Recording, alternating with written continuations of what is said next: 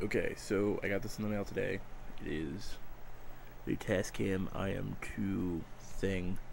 Uh, turns your iPhone into a field recorder, but the awesome news is it actually works with the uh, video apps, so you can record with it.